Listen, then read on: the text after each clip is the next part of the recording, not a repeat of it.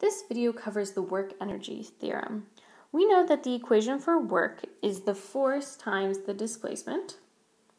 All right, and we also know that Newton's second law for the force is equal to the mass times the acceleration. And from our motion equation unit, we know that the acceleration is equal to the final velocity minus the initial velocity over time. And that delta x is equal to this quantity here, which we also found from our motion equation unit. Now these steps that I'm taking here may seem strange, but I'm developing a new equation here, so stick with me. Once we multiply this out, we end up with this equation here, which may not seem like much, but this quantity, 1 half mv squared, is equal to kinetic energy. So in the end, we realize that the total work done on an object is equal to an object's change in kinetic energy. This is the work energy theorem. So before we start working with this equation, let's chat a little bit about what kinetic energy even is. Objects have all different kinds of energy. A few different kinds that you may know are thermal energy, light energy, sound energy, and maybe even potential energy. Kinetic energy is the energy associated with an object's movement.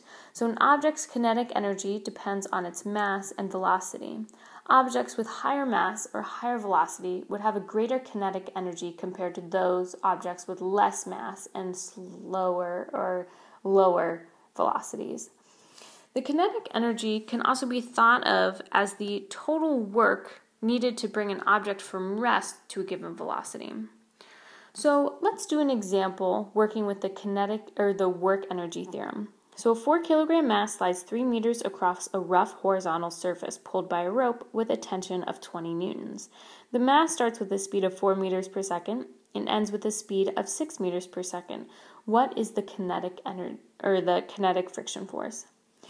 We know the following equations. The first equation is the work energy theorem. The second equation is the equation for total work done on an object. And the third equation is the change in kinetic energy.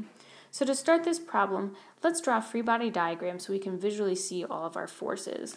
We have a weight force acting down, a normal force acting up, and we have we were also given a tension force pulling the object to the right and a kinetic friction force resisting the object's movement, so pointing to the left. So we probably know that we should use this work energy theorem. So let's approach the right side of the equation first and calculate the change in kinetic energy of the mass. We know that the mass is equal to 4 kilograms, and the initial velocity was 4 meters per second, and the final velocity was 6 meters per second. So once we plug in these values, we see that the change in kinetic energy is 40 joules. Next, next, let's look at the left side of the work energy theorem. We must find the total work done on the object. Since we are analyzing the x direction, we know that there's a tension force in the positive direction and a kinetic friction force in the negative direction. We then must multiply this net force by the displacement. So we can set each of these left and right side of the equations equal to one another. We know that the tension force is 20 and the displacement is 3, and we can solve and we find that the kinetic friction force is 6.7 newtons.